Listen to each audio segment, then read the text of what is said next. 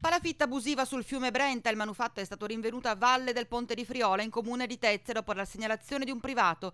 Si ipotizza che sia stata utilizzata in questi giorni come area di svago, vista la presenza di tavolo, sedie di plastica, braciere e bidone di ferro, presumibilmente usato come barbecue.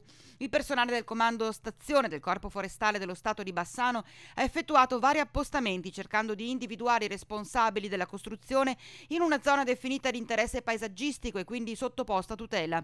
Purtroppo in quel periodo nessuno si è presentato, tanto che hanno provveduto a procedere penalmente contro ignoti e a sequestrare l'area, senza la possibilità però di rimuovere il materiale presente, visto le recenti piogge che hanno ingrossato il fiume e inondato il sito.